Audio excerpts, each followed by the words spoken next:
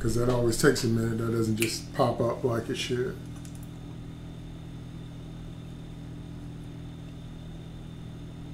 Okay, there we go. PDT here, Prophet David Taylor here for your weekly live prophetic word. Um, let's jump on in. I want to say a word of prayer and then we'll get started. Thank you, Lord, for this day. Thank you for this time. Thank you for staying with us during this time, oh God. Thank you for your mercy, even in the midst of everything that's going on. I ask you to breathe through me, live through me, speak to my mouth, oh God. Let everything be said, be done to your honor and your glory, and let it be done according to your word and your spirit, that you might be glorified in all things and that the saints might receive the word you want them to hear from my mouth. And I thank you for it and I believe you for it. In Jesus' name, amen. Amen and amen. All right. Today's prophetic word is miss me. Again, today's prophetic word is miss me. Now, what do I mean by that? Well, I, of course, will tell you. We're going to take a look at Psalm 91, but we're going to take a fresh look at Psalm 91. And uh, the reason that's important is because uh, I've discovered a lot of people have been misquoting and misappropriating this scripture, and also because we want to to understand it correctly and quote it correctly, and stand against the enemy correctly uh, through this scripture. We don't want to just be making stuff up. Okay. So we're going to look at Psalm 91. I'm going to read out of the King James Version. We're going to look a little bit behind the language, uh, and then we'll go from there. Okay, so we're going to look at Psalm 91, and we're going to start at verse 1, and we're going to read down through maybe 12 or 13. Okay? All right, here we go. He that dwelleth in the secret place of the Most High shall abide under the shadow of the Almighty. I will say of the Lord, He is my refuge and my fortress, my God, in Him will I trust. Surely He shall deliver thee from the snare of the fowler and from the noise noisome pestilence. He shall cover thee with His feathers, and under His wings shalt thou trust. His truth shall be thy shield and buckler.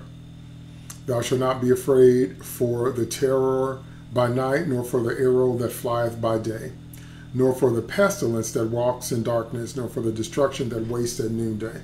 A thousand shall fall at thy side, and ten thousand at thy right hand, but it shall not come near you. Only with thine eyes shall thou behold and see the reward of the wicked. That's verses 1 through 8. Okay, so what I want to start out by saying is you have to pay careful attention to the language. To the language, okay? The verse, uh, first verse, verse 1, Psalm 91 1 says, He that dwelleth in the secret place of the Most High shall abide under the shadow of the Almighty. He who dwells in Hebrew, the word is Yoshev, it says to sit down, to dwell, to remain, to settle, and to marry. One more time. That word uh, there, he who dwells in English, in Hebrew means to sit down, to dwell, to remain, to settle, to marry. Now, why is that significant? Oh, hey, greetings from Cape Town. Good to see you. Why is that significant? It's significant because when you want to claim and stand on the Word of God, you have to say what God says. You can't say what you think He said, and you can't say what somebody taught you. You have to know what the Word actually says. And so when it starts off by saying, He that dwells, I will repeat what that means in Hebrew. That means to sit down, to dwell, to remain, to settle, to marry. Okay? he that dwells in the secret place of the Most High shall abide. What does that word mean in Hebrew? Will abide. Uh, Yitlonan, it means to stop, to stay permanently, to be obstinate. So, in other words, not only are you dwelling, remaining, settling, and married to the Lord, but you're permanently with Him and you're obstinate, you're stubborn, you're determined and committed to stay with God. Okay? It says that people that do that, people that sit down, dwell, remain, settle, and marry God, dwell in the shelter of the Most High, will abide. They stop, they stay permanently, they're obstinately, they're stubbornly there. It says, those are the people that rest under the shadow of the Almighty. So right off the bat, you can see now why how when some people try to claim Psalm 91, but they haven't done what the first verse says, you can see now why how sometimes the promises don't kick in because you don't qualify. It says you got to dwell in the shelter of the Most High, and I showed you several times what dwell means in Hebrew. And it says you will abide, and I just showed you what that meant in the shadow of the Almighty. So, in other words, this verse is not talking about like a fly by night relationship with God. This verse is not talking about uh, uh, uh, CME, people that come to church on Christmas, Mother's Day, and Easter. This verse is not talking about people that have a, a sometime relationship with God. That is not what this means. So I keep trying to explain to people that there's different levels of faith, there's different levels in God's kingdom. To get born again, to get into God's kingdom, you must accept Him as Savior. That's as simple as ABC admit, believe, confess. Admit you're a sinner, believe on the Lord Jesus Christ. He's the Son of God, down on the cross for your sins, rose third day, and confess that with your mouth. That's how you get in the kingdom. But to matriculate in the kingdom, to grow in the kingdom, to be blessed in the kingdom, to become all that God wants you to be, you have to accept Him as Lord.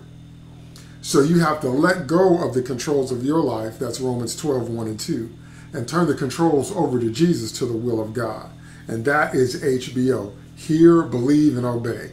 Hear what the Lord is saying, believe that what He's saying is true, and that it's in your best interest because He loves you, and then do it. Okay? So this verse is making it clear that if we want to tap into all these Psalm 91 blessings that we love to claim, okay, that there's some things we have to do. We have to dwell in His shelter so we can abide, stay there, married, be permanent. That means be faithful to God because God shows up in your bedroom every day looking for your morning fellowship. Every day the Lord is there. Every day you wake up, God is there to have fellowship with you. Do you have that daily quiet time with Him? Do you spend time with the Lord? And then when you go about your business, doing your daily routine, are you trying to honor God in all that you do? See what I mean? That's what it means to dwell and that's what it means to abide with God. That not only am I spending time with Him every day, but I'm trying to structure my decisions in life according to what He says, or as the scripture says, order my steps. So again, I will repeat. Now you can see why some people have been trying to claim these promises, but it hasn't been working because you don't qualify. This is for people that do what the Lord says. I will say to the Lord, You are my refuge or my shelter and my fortress Okay, you know what a fortress is? It means a net capture, a fastness in Hebrew. My God in whom I trust. There it is. In Hebrew, to trust, be confident, and sure. So there it is again. So I'm trusting in God, I'm confident in God, and I'm sure of God. Well, if I'm trusting in Him, that means I'm obeying Him. It doesn't mean that I'm just doing what I want to do.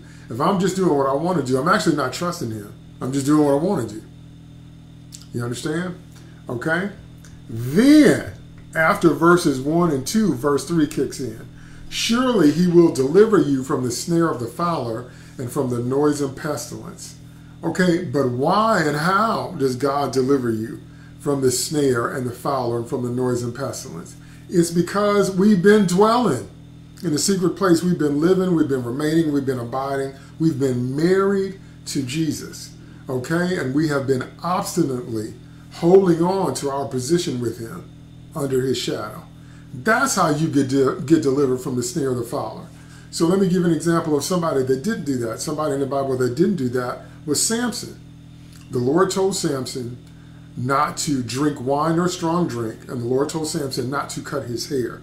Both of those things were the sign of the covenant that Samson had, being a Nazarite from the womb, that he was chosen by God before he was born to judge uh, Israel and to bring judgments against Israel's enemy, mainly the Philistines. But what did Samson do? Samson kept falling in love with Gentile women because one of the things that the Lord kept telling Israel was don't intermingle with Gentile women. But Samson kept going after non Jewish women and having relationships with them. And then he ran up on Delilah. Delilah was a plant. Delilah was somebody that the Philistines hired to seduce him to find out the secret of his strength. But God told Samson not to fool with the Philistine women, not to fool with the Gentile, Gentile women. And God told Samson not to cut his hair. Because that was a sign of the covenant he had with Yahweh, with Jehovah, the God of Israel. But Samson listened to Delilah, and she pushed him and pushed him and pressed him and pressed him and pressed him until uh, he finally told her the truth about where the secret of, of, of, was of his great strength. So while he was asleep, she cut his hair. And then she called the Philistines and said, The Philistines are on you, Samson.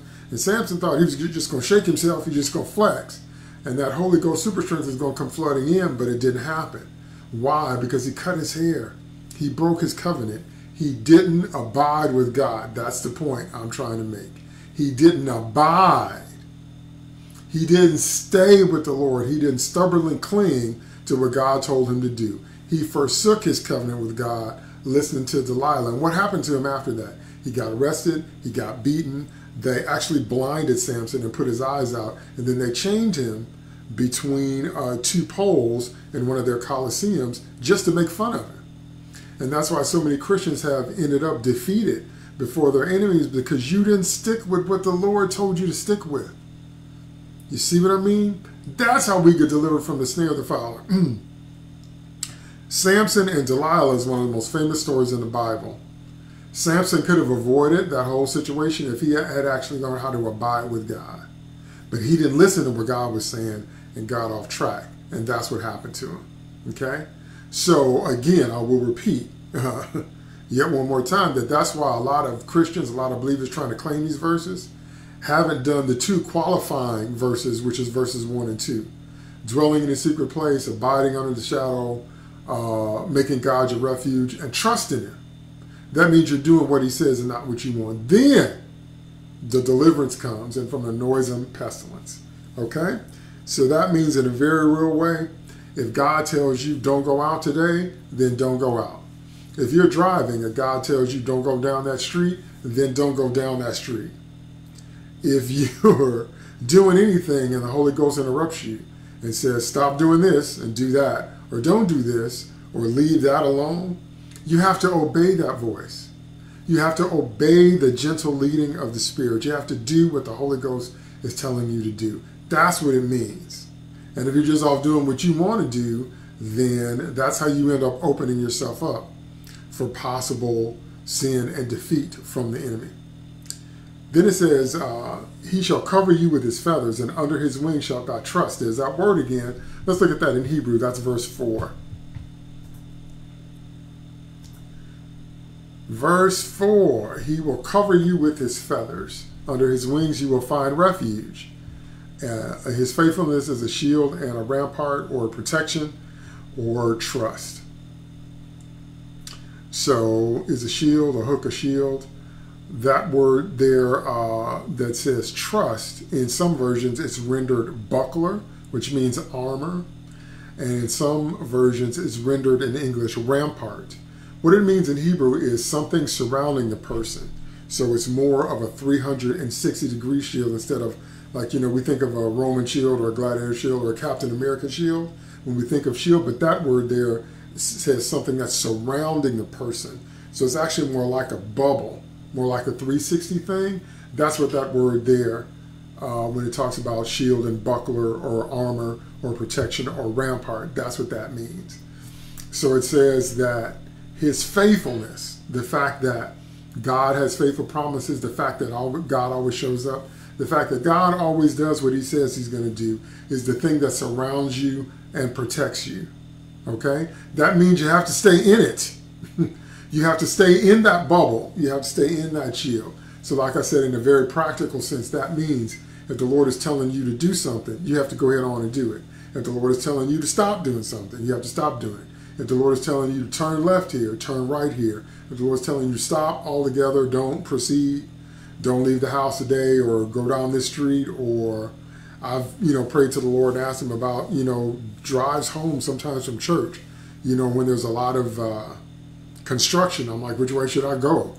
You know, coming home from church, and the Holy Ghost will lead, will lead you even on small details like that.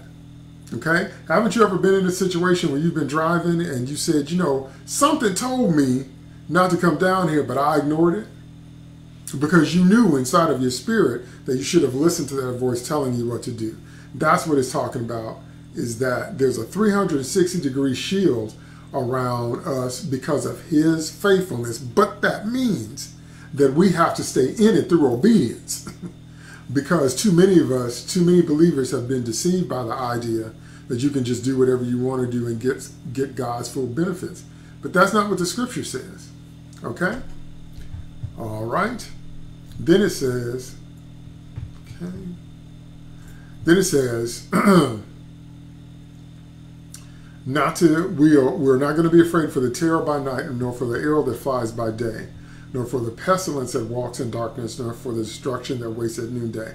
A thousand shall fall at thy side, and ten thousand at my right hand, but it shall not come near us. So I want to repeat that if you want to claim that promise and you want to claim that scripture, you got to qualify by doing what the first two verses tell you what to do. And in verse 2 and verse 4, okay, it speaks of trusting.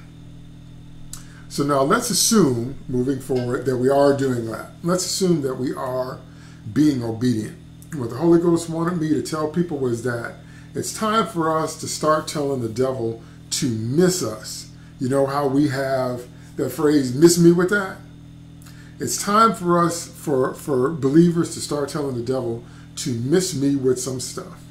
Because if you are dwelling in the secret place and you're married to Jesus and you're abiding with the Lord and you're obeying God and you're you're letting God's faithfulness be your 360 degree shield, then it's time to understand that we can claim these promises in Psalm 91. Okay? Let's look at verse 5. It says, You will not fear. That word in Hebrew, fear, tira, means to fear, revere, cause, or be frightened. The terror of the night. That word terror means alarm. And night is obvious. It means a night, but it also means a twist or adversity. What does that mean? It means doesn't just mean physical night when the sun sets or it gets dark. It says in Hebrew that word laela, uh, laila, excuse me, laila means a twist. In other words, something happened that you didn't count on because life can throw you a twist. It says night, but it also says adversity. That means when you're going through stuff. It says you're not going to be afraid. You're not going to be frightened if life throws you a twist or if life has you in adversity, or if it's dark. Okay? Then it says, or the arrow that flies by day. Let's look in the Hebrew at that word arrow. Meshetz, it means a piercer, an arrow, a wound, thunderbolt, the shaft of a spear. One more time. A piercer, an arrow, a wound, thunderbolt, the shaft of a spear. Wow. So that means all this stuff that the devil might be throwing at you something to pierce you, to cut through your armor, or shooting an arrow, or trying to wound you, or scaling you with thunderbolts. Because remember, the thunder is sound, lightning is the actual bolt, thunder is the sound. The shaft of a spear.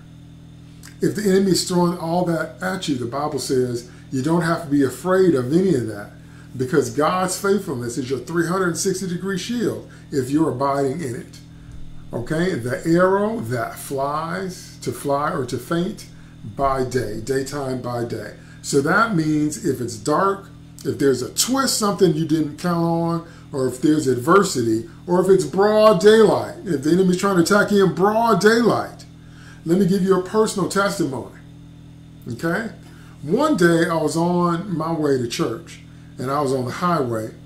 And if you drive on the highway on a regular, you know that people are used to going at ridiculously high speeds on the highway. So I was coming out of the turn past the loop, getting ready to go to uh, the south side lanes.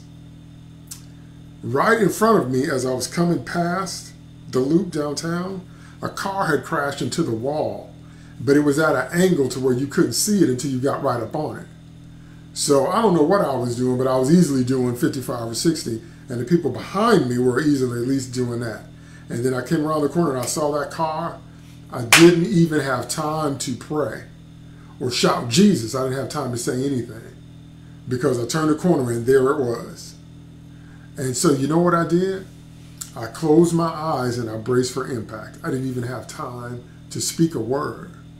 and I saw a truck in my rear view mirror, and I just knew that truck was going to hit me. So I closed my eyes and I just braced because I knew there was no way that truck was going to be able to stop in time as fast as it was going. And you know what happened? Not only did I stop and not hit that car, but that truck stopped behind, me and didn't hit me. I was stunned. Again, I didn't even have time to say anything. But God's faithfulness protected me as a shield because I was in His will. I was doing what I was supposed to be doing. And somehow the mighty hand of God stopped that truck and it didn't flip over and it didn't crash into me. And there is no natural way that happened. If you could have seen how close it was and how fast it was going, there is no natural way that was going to happen. Okay? So that's a living example of what I mean about uh, whether it's broad daylight or whatever. This is when this stuff kicks in. Now let's read this verse we've been claiming because of the pandemic. That would be verse 6. And verse 6 says, in the King James Version, nor for the pestilence that walks in darkness, nor for the destruction that wastes at noonday. Okay? Well, what does that say in Hebrew? The Berean Study Bible says the plague that stalks in darkness or the calamity that destroys at noon. Uh, uh, many other versions say pestilence, disease, uh, disaster, and destruction. Okay? The plague. It talks about a pestilence, a pestilence. So we understand what that means. That's what we're dealing with now. Then it says it stalks in darkness. It says to go, come, or walk. That means that plague is walking around, walking around looking for people to infect. I know that's the truth. Then it says in darkness, darkness or gloom, or the calamity. That means destruction that destroys, to swell up, to devastate. Oh, that's what it means in Hebrew. Destruction is going to swell up and devastate. And then it says at noon. Okay, it says a light, a double light, or noon, right in the middle of the day.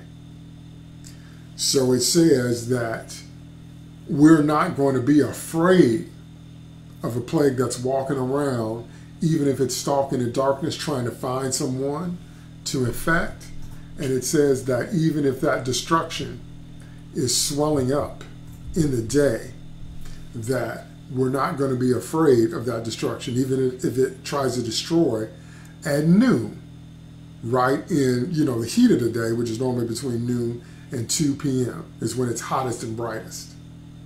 So God is saying that even when it's hottest and brightest, you don't have to be afraid. That calamity that is looking for you, you don't have to be afraid of it. Okay? Then I want to close with this verse, uh, verse 7 A thousand shall fall at thy side, and ten thousand at thy right hand, but it shall not come near you. Let's look at that in Hebrew. It says, Though a thousand, and that word means a thousand, may fall at your side, okay, to fall or lie to uh, at your side, and 10,000, that means a multitude, a myriad, 10,000 at your right hand Okay, it means the right hand, the side, or the south.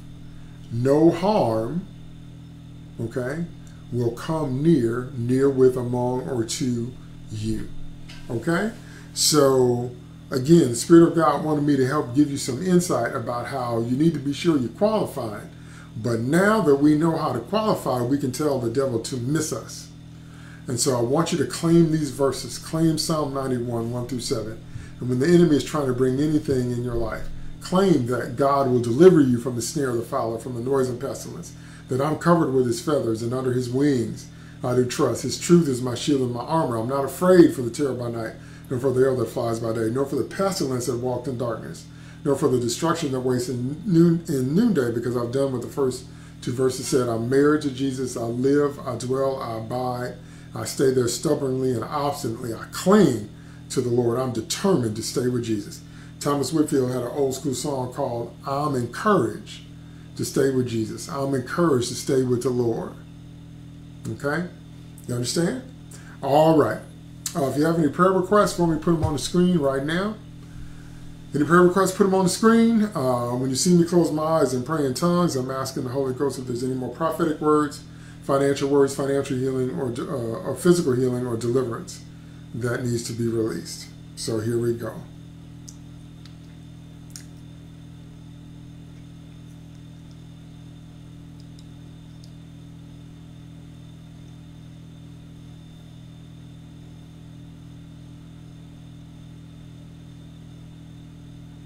Okay, the word I heard in my spirit, the word that came to me was change.